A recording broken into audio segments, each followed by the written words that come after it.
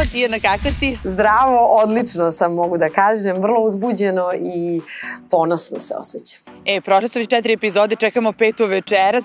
Reci mi kakvi su komentari, kakvi su tvoji utisci?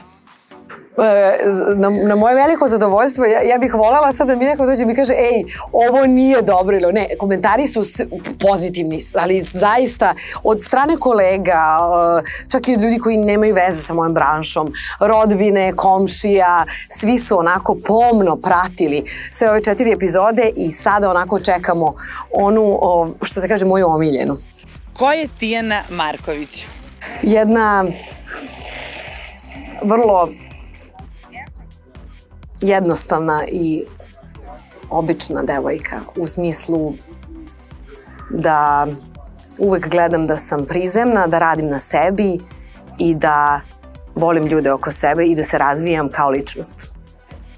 Da li postoje sličnost između tebe i lika Marije Milošević u seriji Porodica? E, da, u bezuslovnoj ljubavi prema ocu to je nešto zašto sam se ja najviše zakačila i ja sam ovu ulogu posvetila svome ocu koji nažalost neće moći da gleda ovu seriju, ali gledaće je samo njemu znanim očima.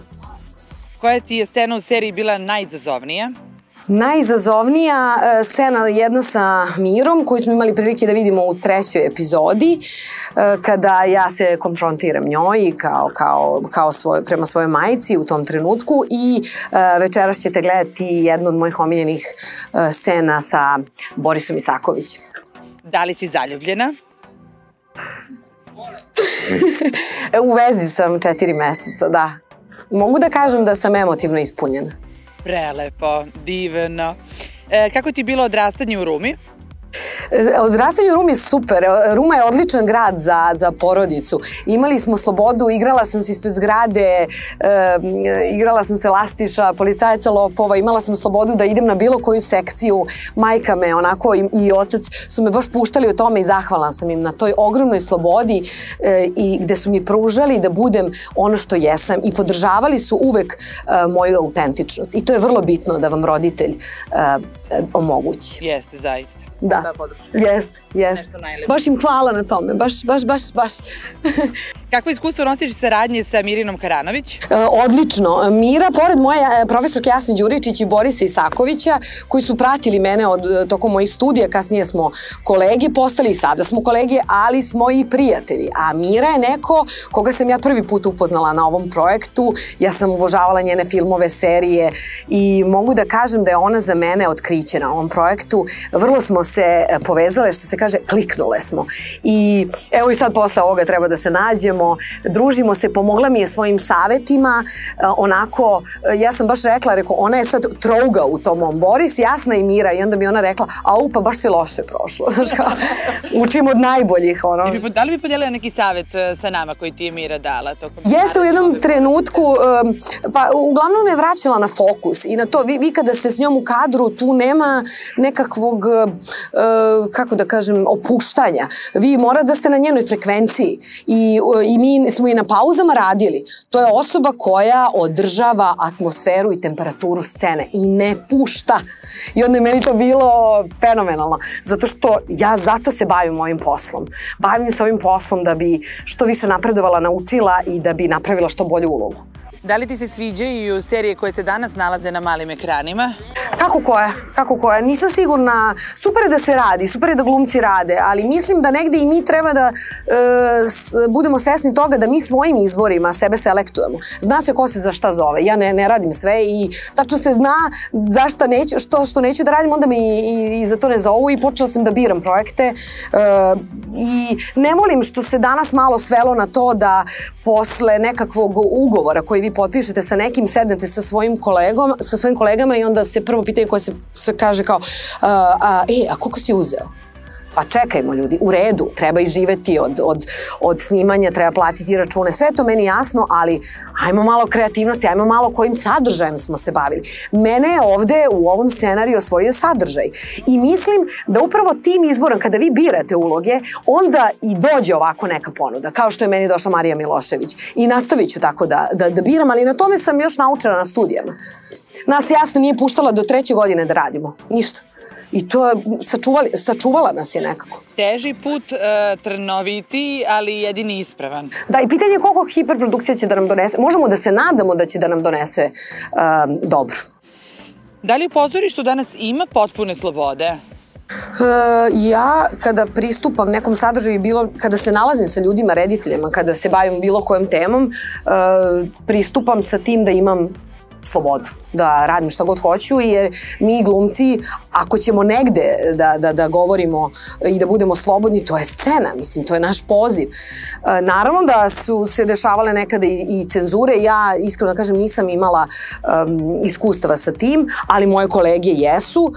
Tako da, pa eto, i tu ima, kako da kažem, i tu birate sa kim ćete da radite i šta ćete da radite. Ali za mene je pozorište sloboda i predstavlja prostor kreativnosti i slobode. Šta je bilo presudno da se ti baviš glumom? E, presudno, e, pa ja mislim da je to nekako dato i da sam ja to negde kao mala osjećala. Ono što mogu da podelim sa vama je da kao mala sam um, volela da se, kada neko dođe da se popnem na dnevni sto i onda ja krenem da nešto uh, recitujem i ulazila sam u razne uloge. Te sam uh, direktorka, sekretarica, te uđem u ulogu učiteljice pa sam mami, ovaj, cela vrata je morala da menje jer sam kao učiteljica pa sam sunđer natopila vodom i to je trajalo danima kao ja učiteljica, kreda, sve, sve, sve sve pun, pun, pun doživlja i onda je mama morala da menje vrata. Ja sam posle shvatila u stvari da e, sam ja ulazila uloge i tad sam osvestila da, sam, da, je to, da je gluma moj poziv. Jer sam ja sve to. Znači, ja nisam morala da biram, e, jedno ću, bit ću advokat ili ću da budem, ne, bila sam sve i dijaloge sam sama smišljala i vrlo mi je bilo zabavno. Bila sam baš bezbrižno i srećno dete i sada ovaj, negde negujem tu malu Tijanu u sebi. Da li si optimista ili pesimista? Optimista, uvek kako bi ocenila status žena u Srbiji?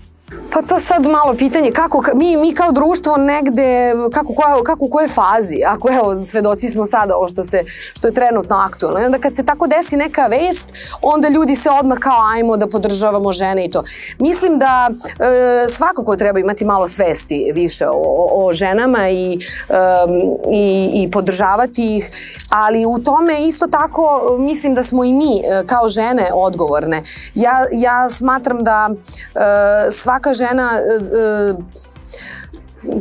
zaslužuje da, da, da zaslužuje poštovanje i, i razumevanje i na kraju ovaj, majke su tu koje su nas donele na ovaj svet i mislim da je to jedna vrlo ozbiljna uloga. Tako da čuvajmo svoje majke, čuvajmo svoje uh, učiteljice, profesorke, uh, medicinske sestre, doktorice, novinarke i sve, sve, sve oko nas. Ipak su žene koje ulepšavaju svet. Koliko su ti šminke stavili za ovu ulogu da bi te negde preobratili u Mariju? E, koliko šminke? Pa um, oni su me, malo su me postarali i stavljali su mi crveno ispod, ispod e, oči, onako, iz, e, onako znoja i umor, pošto oni kako idu iz epizode u epizodu, videli ste, oni su umorni, gladni su, prosto to negde narasta, ali su me, da, postarali su mi, pravi, pravili su mi malo borica, ali nije to toliko bilo ovaj, neke, neke ogromne šminke kao što to imao Boris, imao i masku i to. U kojoj predstavi možemo da te gledamo u ovom periodu i gde? predstava Tartif, e, Srpsko narodno pozorište, Velika depresija i nadam se da ćete moći da, da pošto smo, pošto je pra, pra izvedba domaćeg teksta, ja se nadam da ćemo biti i na sterinom pozoriju. Još uvek nije izašlo to, to e, javno šta, ali ulazimo u konkurenciju i isto Srpsko narodno, zatim Travnička hronika, e, Smedrevo 41. Pa nema Uješ, gde ne možemo da te gledamo. da, kraljice uh, i tako, mislim, dosta, dosta sadržaja i za, zahvalna sam što imam tu mogućnost da, da igram. Kako ti pamtiš 90. i hapšenje Miloševića? Da, ja 90. kao kraj pogotovo 90. pamtim po svojim prvim izlascima, po svojim prvim zaljubljivanjima. Uh, Naravno da ga pamtim i po mokrim starkama, pištaljkom u ruci, gde sam išla u onoj koloni, simpatija je naravno bila tu i gde smo onako išli, a nismo ni znali kuda mi to idemo i za koga mi tu, mi tu nešto pevamo, govorimo. E, mislim da, ja, ja sam tad bila tinejdžerka, nisam bila politički osvešćena i generalno te 90. E, mislim da i, i protivnici pristalice toga vremena e, su izgubili. Mislim da smo tada svi izgubili. I ono što sam ja od tada verovala kao tinejdžerka to je da, da će biti bolje. Verovala sam da će mojim roditeljima biti bolje. Ovaj, eto, nažalost, to nas je tako obeležilo, ali zato je ova serija vrlo bitna da, da govorimo o njoj. I setim, sećam se jedne Dickensove kada kaže, bila su to e, najteža vremena, ali bila su to i najlepša vremena. Da li ti je bilo teško da se negde probiješ u tom glumačkom svetu? Uvek sam radila na sebi. E, tako, sam, tako imam sada i agenta u Rusiji i idem sad na castingi za neke hollywoodske filmove i za neke stvari koje su mimo, mimo, mimo naše države. Imam sad trenutno agenta i ovde u Srbiji u regionu i mislim da je to vrlo bitno kada neko vodi računa o vama, ali negde nikada se nisam prepuštala inerciji. Naše društvo je malo onako inertno, ušuškano i vi sad sedite kući i čekate da će neko da vas pozove. Teško. Znači, negde vi treba, uvek, uvek sam, kad, kada nemam e, kojim sadržajem da se bavim, onda ja samu sebe zaposlim. Onda ja krenem, ne znam, odem na jahanje, naučim. Naučim da klizam, naučim neki jezik. Tako sam krenula ruski, pa sad španski pomalo. Znači, sve su to negdje stvari koje vas šire.